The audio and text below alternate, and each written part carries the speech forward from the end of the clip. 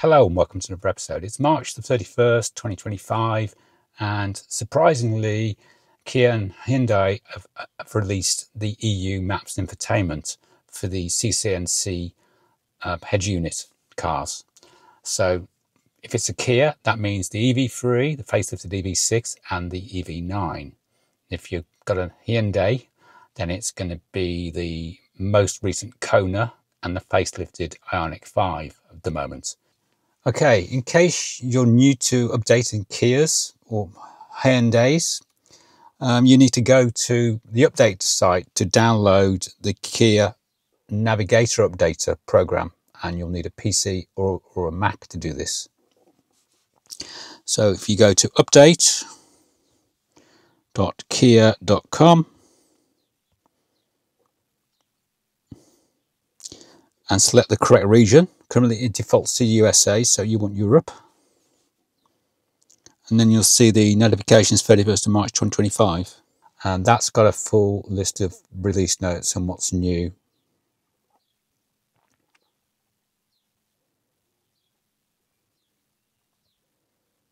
But I'll cover that in a following episode. To download the navigation updater, um, you press navigation updater download and select whether you want Windows or Mac. And that's how you install it on PC. Uh, that takes a while to install, and once that's updated and running and working, uh, you open it again, and then you select your vehicle, in this case the EV3. Uh, once that's installed, double click and open it. It's probably doing update now.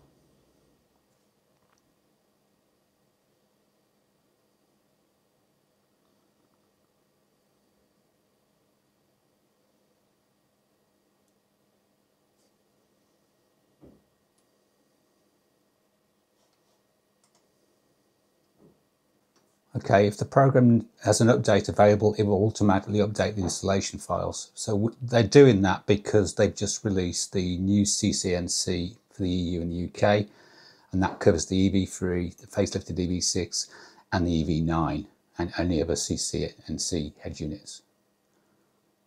This works for Hyundai and also for Genesis, this method, so I'll come back to it when it's finished. Okay, now it's uh, it's downloaded the new installation files and you can see it says March 2025 navigation for CCNC and then I select my flash drive um, which is drive G which I've already inserted and that's got to get wiped. You must let this format it otherwise it won't work when it gets to the car. Right so click next. Wait a minute I don't want I don't want an EV6. it still thinks I'm an EV6. Hold on a sec.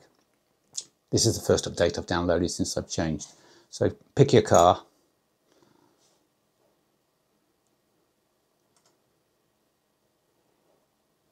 There we go. And select drive G where it's going to store the stuff. And confirm selection of portable. And it's going to format it, which you need to do. I wouldn't mess around formatting yourself uh, because people end up with it not running. Continue. All that's on there is the previous uh, EV6 one from January, which was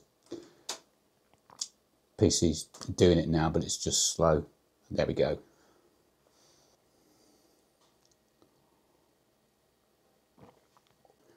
Then it takes probably an hour or so to download and then it takes a while to decompress and to split the files onto the USB drive. So um, all you have to do now is wait. I found if you plug your laptop or PC directly into your router, it's quicker than Wi-Fi. So that's a, a tip I use. So I'll come back to this later. Okay, we've been going about half an hour and I've only got like 38 megabit download broadband, so not the fastest broadband, but hoping to get it upgraded soon. And we're on 18%, um, so I'll come back in a bit. As you can see, it's 21,000 out of 26,000 megabytes. Um, so that remaining percentage is actually decompressing the files it's downloaded and then writing to the SD card or the, or the USB stick or whatever you've got as a data storage device. Right, it's 11.08 UK time. It started downloading creating files at 9.22, even though I started it before it was updating system files. Um, it's done the initial download and now it's it's unpacking the zip files and copying them to the USB. And that started doing that at 61%. So that 40% of this progress bar is copying and unpacking files and creating the USB drive. So I'll come back to this when it's finished. We've got to walk the dog in between, so let's try and figure out when it exactly stopped. Okay, it's finished updating. Now I can see by looking at uh, the, the drive what time it finished writing files.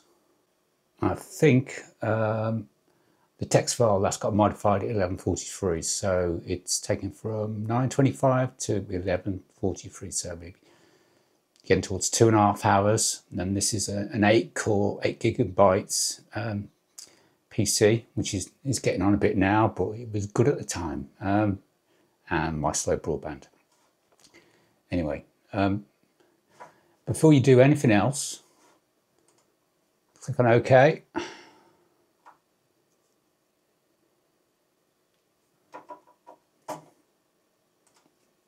That's a bit slow. Um, and she'll ask if you want to clean up any downloaded files at the end, and we should say yes. Right, and then you've got the option of close the program after deleting temporary files, which is what I want to do. So I'll do that.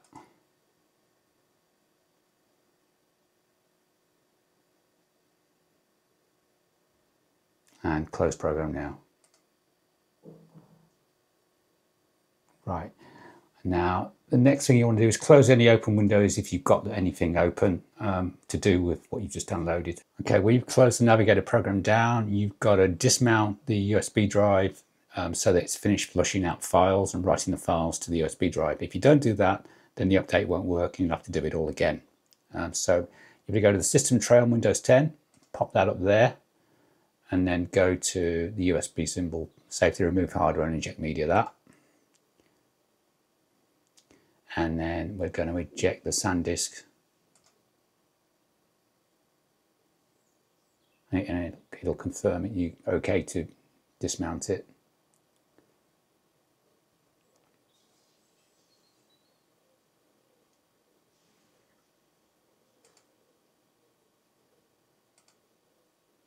See it's gone now yeah? And then you can pull the drive out. And only once you've dismounted it you can pull the drive out anyway, I've, I've, recorded and documented everything I did uh, for people who've never done this before, uh, especially those with the EV3, which are new to Kias and Hyundai's. Hyundai's, I'll get it right one lifetime in my life. Um, I've got a USB A type memory stick, which I've, I've put the data on, which uh, I've shown you in the previous steps. And the car's all USB C now, so you'll need one of these Amazon basic USB-C to USB-A adapters. So plug that in there. I won't plug it in yet though.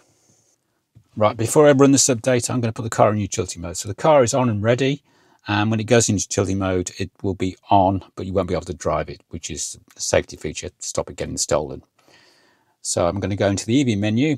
It's on my first screen on my car, but it may be a stroke across if you've got to find it and then set settings, then utility mode, and, and then activate utility mode.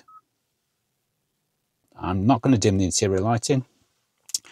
Um, if you look at the main cluster display, you'll see utility mode there and at the top there. And now I'm going to plug in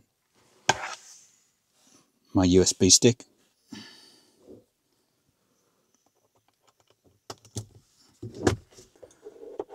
and hopefully there it is. It says press start, start copying the latest software. You'll be notified when the installation is ready to start. Please do not remove the USB drive. So start. Uh, notice it's it's running the update in the corner in a kind of silent fashion. So uh, you can drive around while it's doing the update or doing part of the update is copying files across to the head unit. Basically, um, it'll do the final update at the end but I'm, I'm just, because I'm recording this, I'm doing it this way. So I'm going to uh, leave the car, lock the car, and uh, with Kia Connect, and then come back to it later. Just keep an eye on it. I'm going to manually dim the screen as well. So um, I'll stroke down, uh, brightness.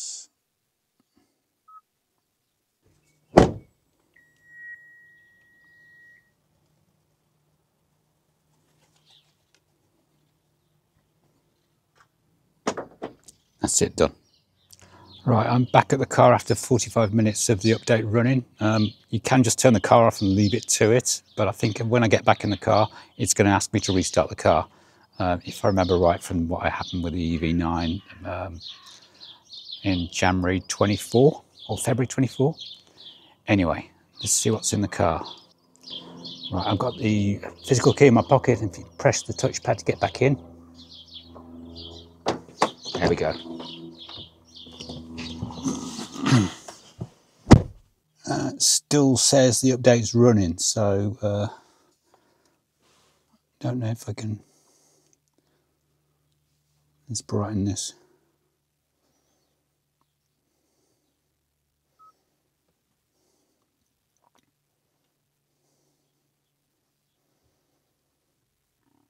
Don't know if I can go somewhere to look. See, Oh, there it is.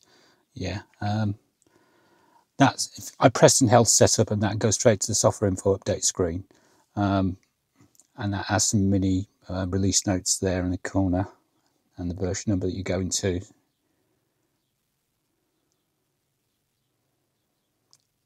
mentions Netflix and YouTube. Well, we'll see what turns up. Um, I'll do that in a separate video though. This is just how to get the thing on the car in the first place. So, uh,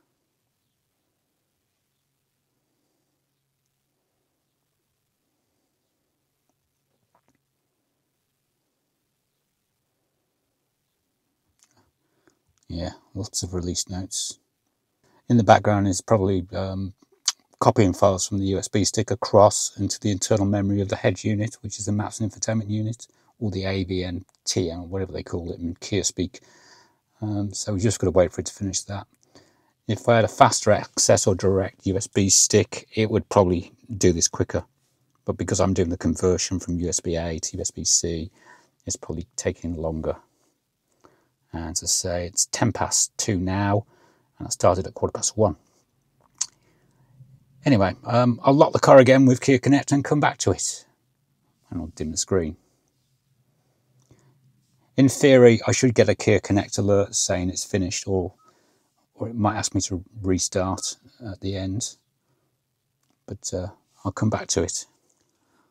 Right, I'm back in the car. It's nearly two hours later after I first inserted the USB stick. The update symbol's gone from the top there, and if I press and hold setup, it says updates are in progress, ready to install the infotainment software. Um, this hasn't asked me to turn the car off, um, so I wonder if I've got to turn the car off. So I'm going to turn that off now.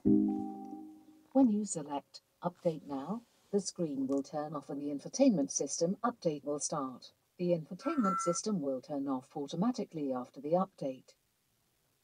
Update now. Right.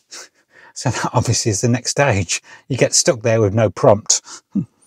But if I left it in auto, auto mode with the car off, it, it, I think it maybe just would have done it well, without testing. I don't know for sure. Right, I just had a message on the phone saying infotainment system update, update completed. So does that mean I turn it on? It's working now. Let's see.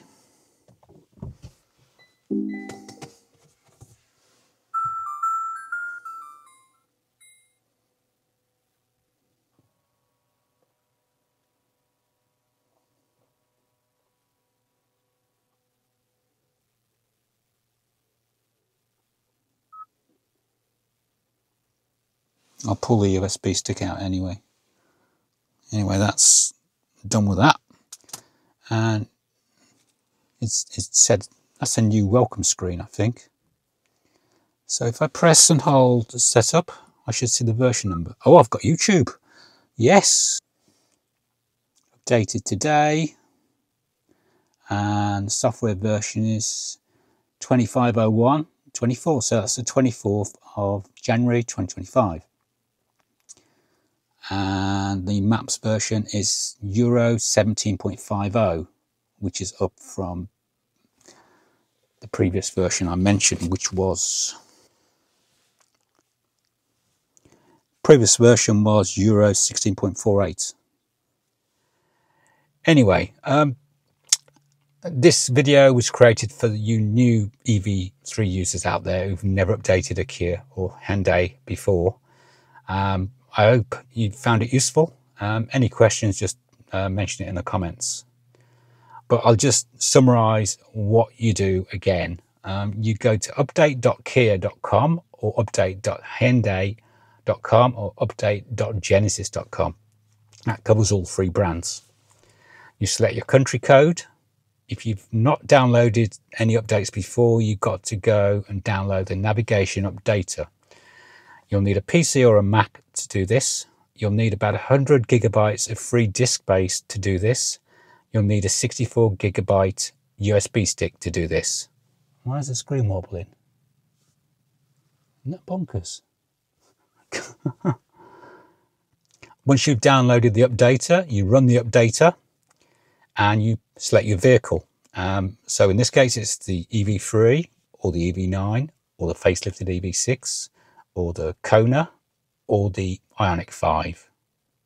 All those have got the CCNC head unit currently and more are coming along.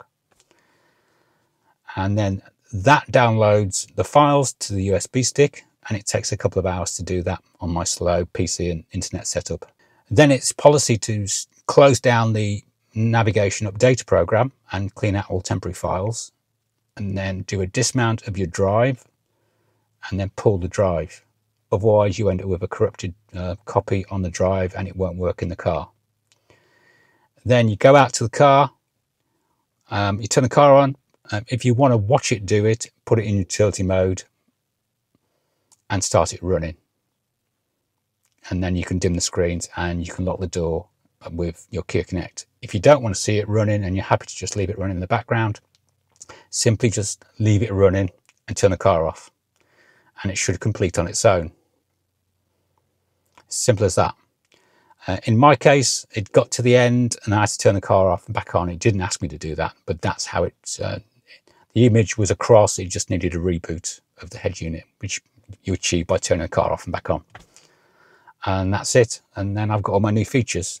Anyway, hope you found it useful. Thank you for watching.